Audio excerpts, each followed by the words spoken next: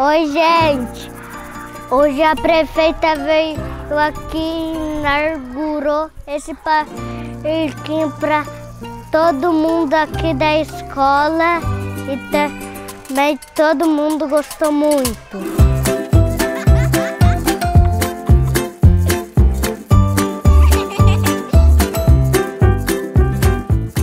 Estamos aqui na escola da Garuva, essa escola que merecia esse parquinho, um pedido grande da comunidade, um pedido dos pais, dos alunos, dos professores para ficar ainda melhor.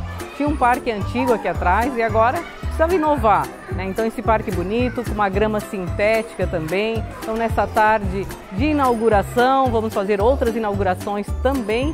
E aqui assinando uma ordem de serviço para voltar à entrada da escola, onde era antigamente, né? E aí optaram em fazer uma outra entrada e agora junto com a comunidade, com os pais, a necessidade. Então, assinamos também essa ordem de serviço para fazer essa rampa de acesso na entrada principal da escola. O pedido que a gente fez, né, para a prefeita, junto com todos os professores, os funcionários da escola, né, fizemos uma reunião aqui antes e a gente pediu, era uma reforma do parquinho. Então eles iam dar um parque novo e foi uma felicidade. As crianças adoraram, né? Receber a visita, a visita era perfeita. Eu fiquei feliz, muito feliz, eu fiquei curiosa. E o melhor de tudo isso é receber o abraço, receber o carinho, o valor dessas crianças, o quanto elas sonhavam. Tinha crianças que estavam sonhando o desejo de ter e de usar um parquinho desse. Então, é maravilhoso poder estar prefeita nesse momento, poder estar presente sempre com você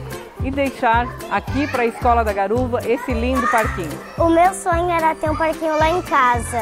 Um tobogã, dois balanços, um escorrega e um, e um negócio de subir. Brincamos muito, eu e os meus colegas estavam tudo felizes.